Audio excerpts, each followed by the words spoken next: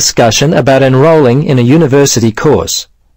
First, you have some time to look at questions 1 to 7.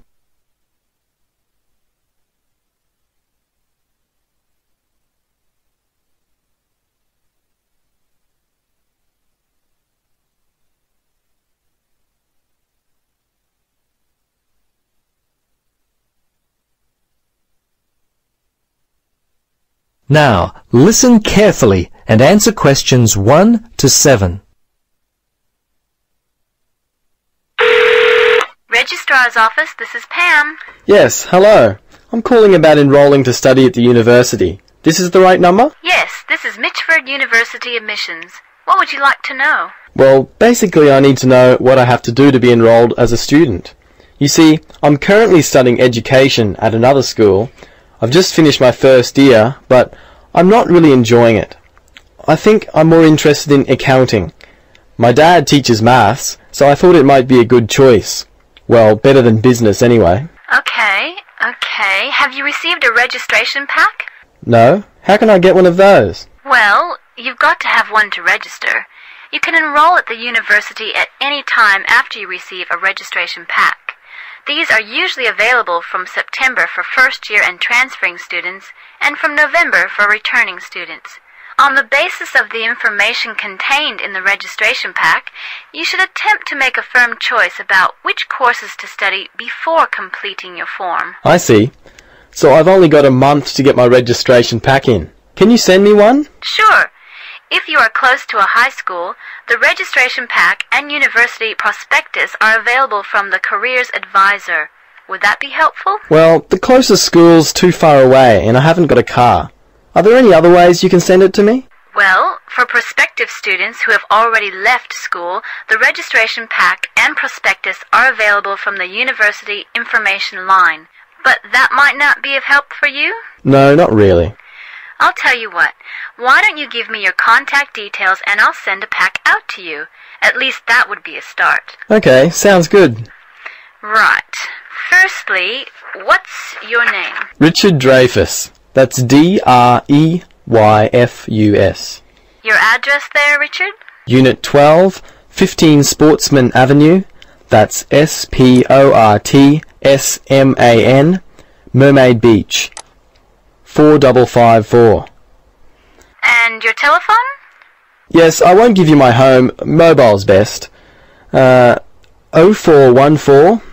Hang on a minute, I don't call myself usually. Uh, I think it's 0414 658 uh, 339. Yes, that's it. Okay, now, do you have email? Yes, I do. It's Dreyfus, my last name, at igo. That's I-G-O dot com. All lowercase letters, of course. Before you listen to the rest of the conversation, you have some time to look at questions 8 to 10.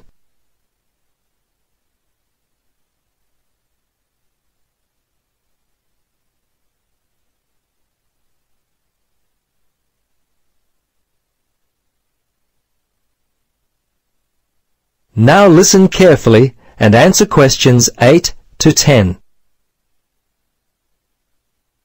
Okay, that looks fine. Now, do you have any questions for me? Yes, I've got a friend who is interested in studying at the university. I'm not sure what would be best, uh, the best way for him to register. Can you give me some suggestions? Sure, there are three ways to register. Option one is telephone registration. Before you telephone, fill out the registration form included in your pack.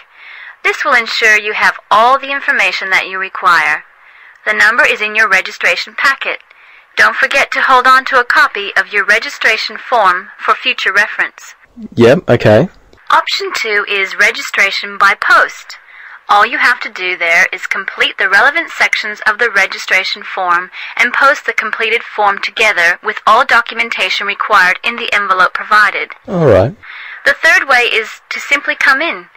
Visit the Student Information Center in the Information Services building, and your friend will receive personal assistance on how to complete his forms.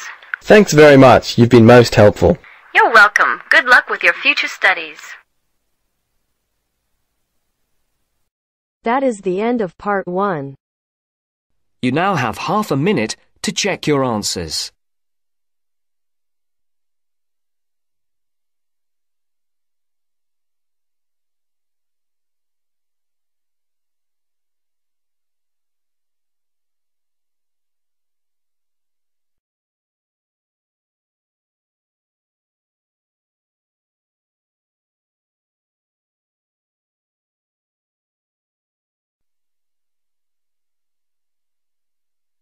Now turns to part 2. Part 2. First, you have some time to look at questions 11 to 15.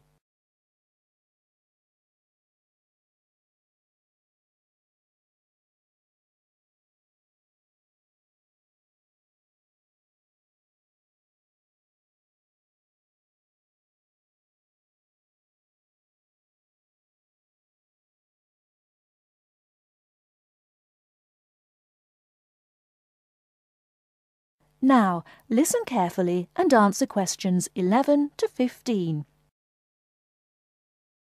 So, Enrique, have you started your research project on cities yet?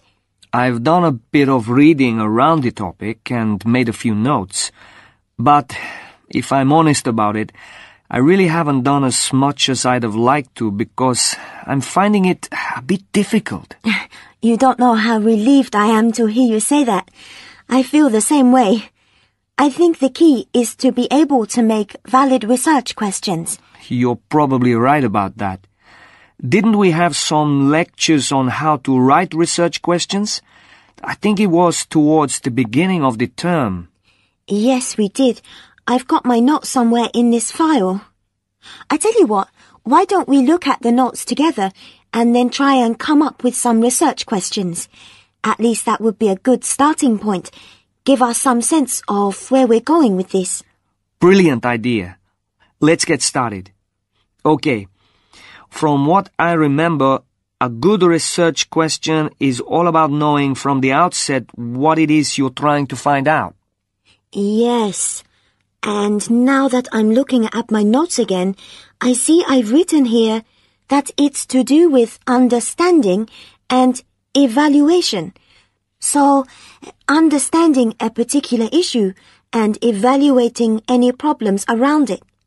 And of course, a very important part is not overlooking any research that has already been done. Past research is just as important as what is being done now. It's a bit, I suppose, like looking at the research that's already been done and seeing if it agrees or disagrees with your own ideas. Mm, sure, I hear what you're saying. But to do that properly, you have to have a clear idea in your head what your own research question is. And by that, I mean uh, specific areas you want to focus on. Let's face it, there's so much information out there, and we can't possibly include it all in 2,000 words. Don't remind me. The thought of writing 2,000 words at the moment seems like a huge mountain to climb. I know, but let's try to make a start. I think we're meant to be identifying what makes a successful city, and also try to explain why there has been such a steady population movement of people from rural to urban areas. But I'm a bit confused because I don't think this is meant to be the main focus of our research. Mm. Perhaps that's why the lecturer said we need to write questions, and that must be our starting point. Okay.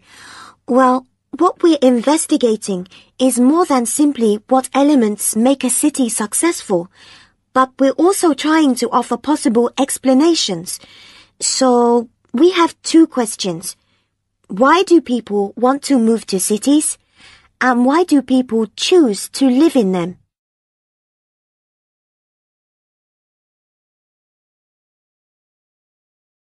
Before you hear the rest of the talk, you have some time to look at questions 16 to 20.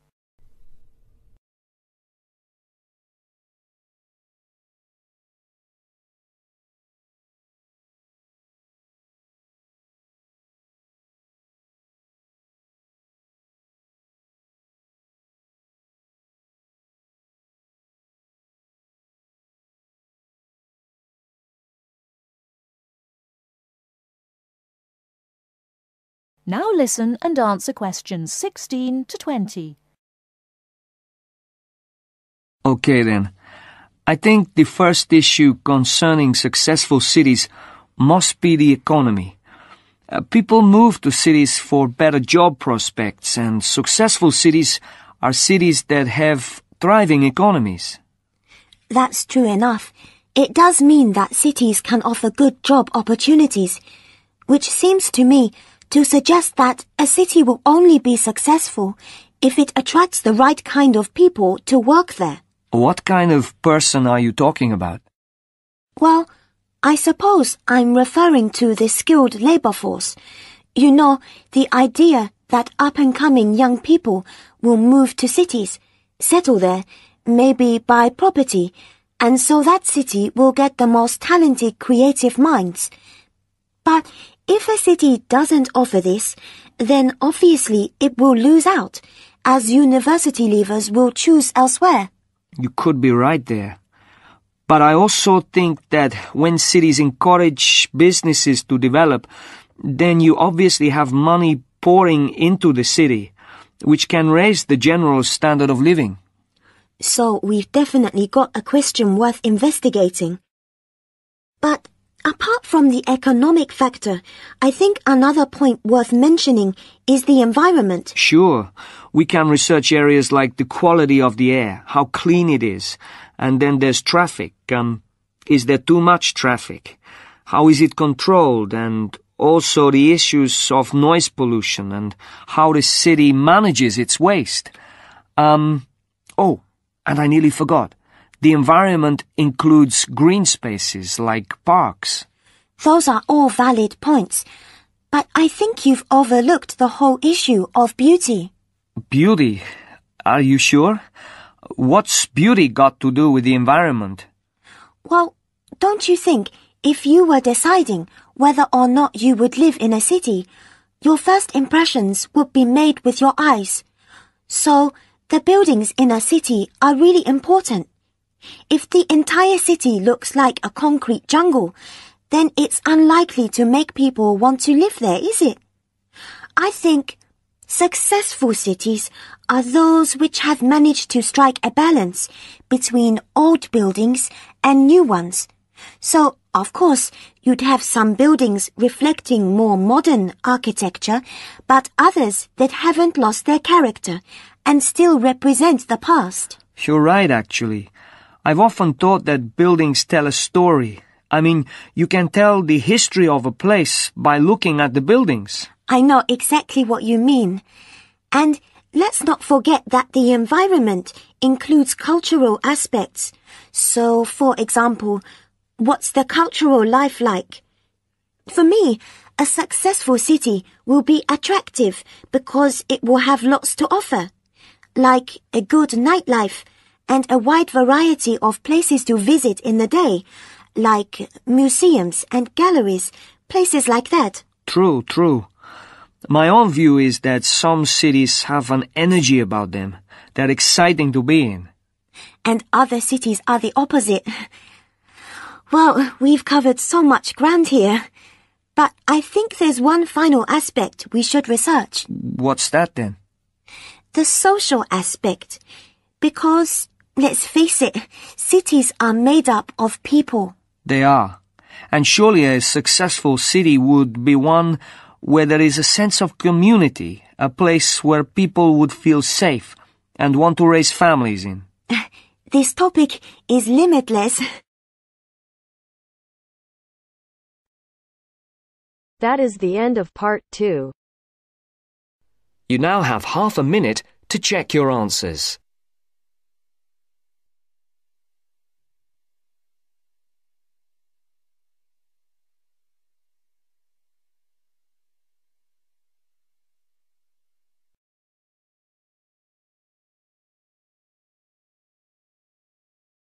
Now turns to part three. Part 3 Here an interview conducted by an interviewer Spiegel with the scientist Peter Piot, who discovered Ebola, a dangerous disease. Both of them are conversing about the disease and its origin. First, you have some time to look at questions 21 to 25.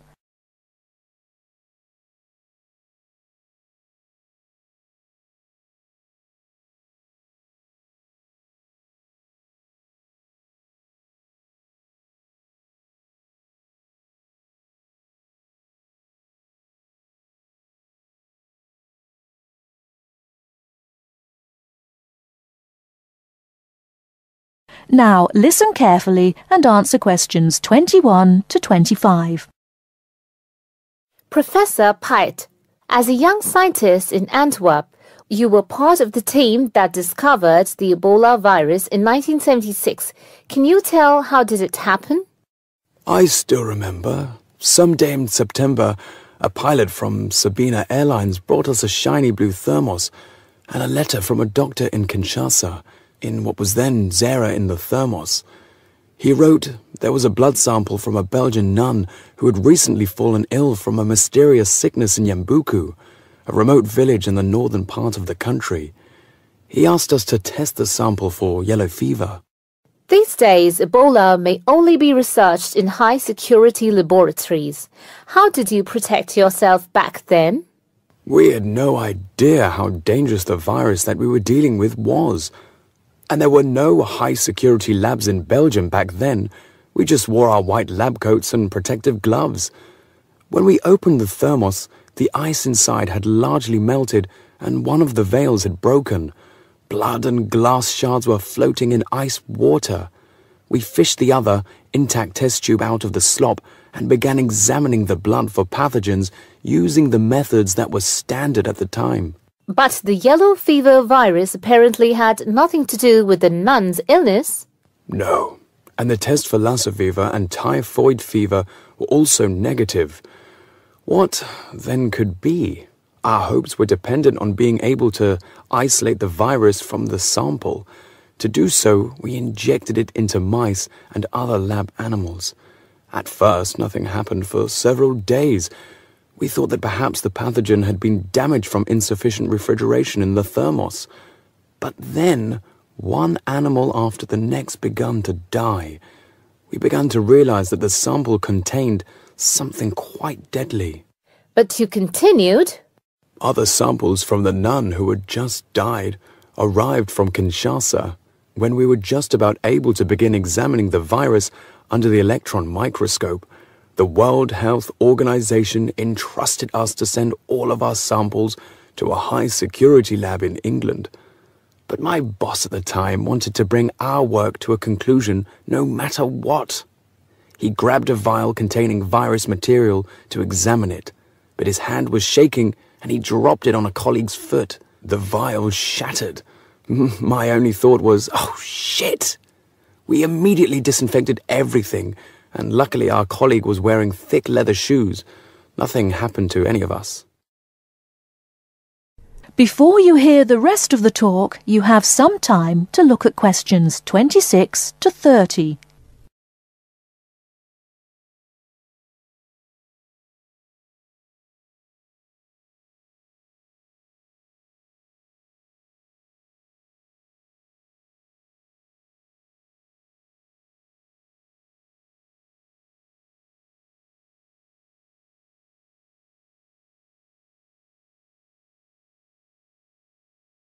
Now listen and answer questions 26 to 30. We're finally able to create an image of the virus using the electron microscope. Yes, and our first thought was, what the hell is that? The virus that we'd spent so much time searching for was a very big, long, and worm-like. It had no similarities with yellow fever. Rather, it looked like the extremely dangerous Marburg virus, which, like Ebola, causes a hemorrhagic fever. In the 1960s, the virus killed several laboratory workers in Marburg, Germany. Were you afraid at that point? I knew almost nothing about the Marburg virus at the time. When I tell my students about it today, they think I must be from the Stone Age but I actually had to go to the library and look it up in the Atlas of Virology. It was the American Center for Disease Control which determined a short time later that it wasn't the Marburg virus, but a related unknown virus.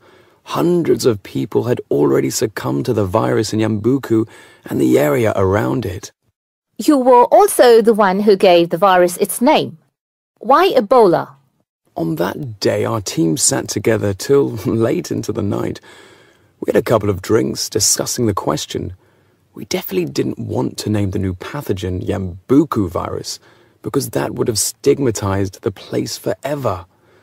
There was a map hanging on the wall, and our American team leader suggested looking at the nearest river and giving the virus its name. It was the Ebola River.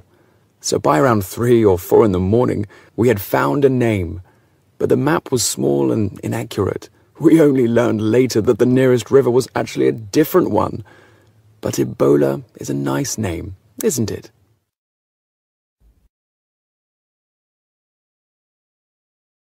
That is the end of part 3. You now have half a minute to check your answers.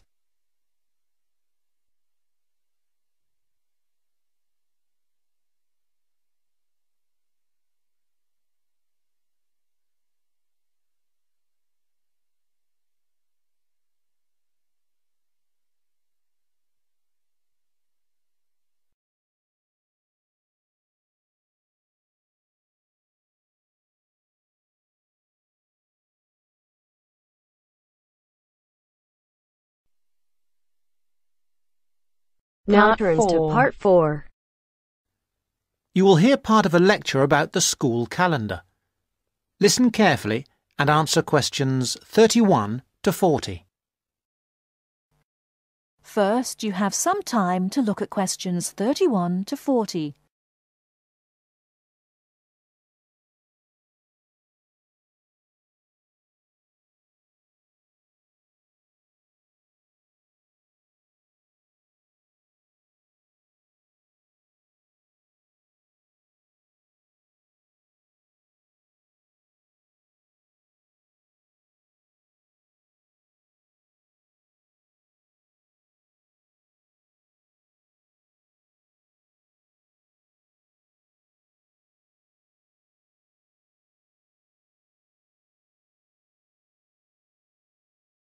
Now, listen carefully and answer questions 31 to 40.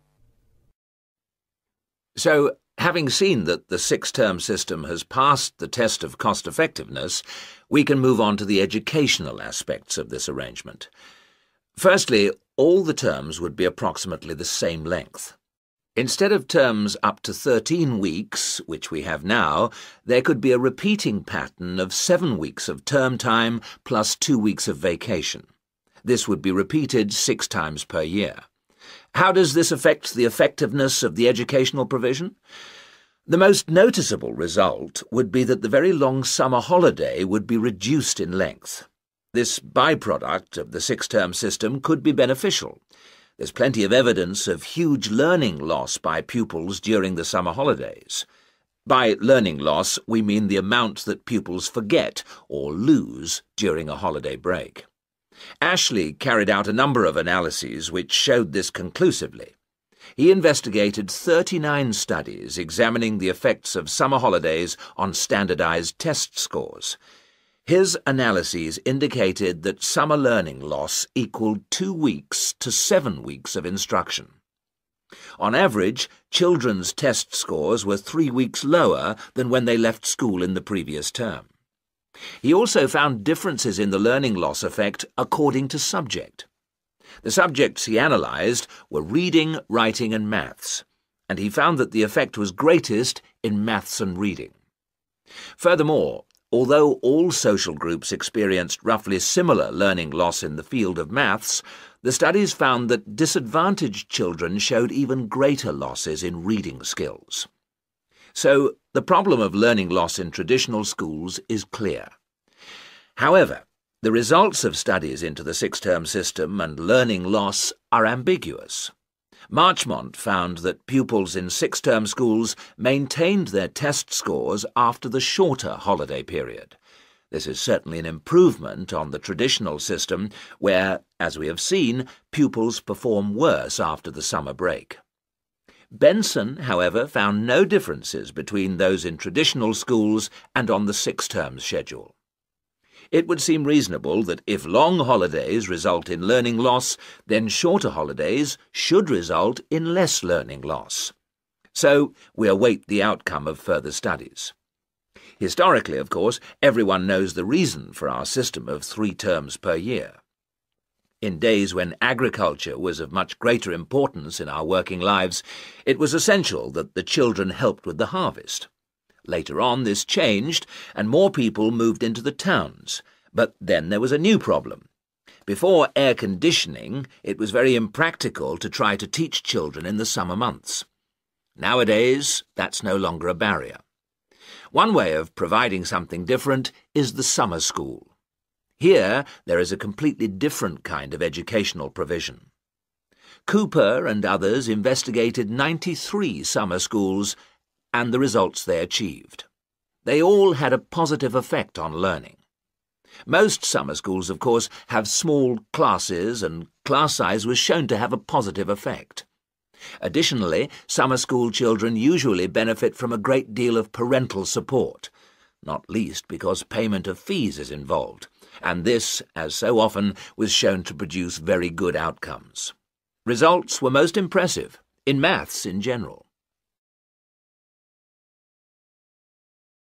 That is the end of part 4. You now have half a minute to check your answers.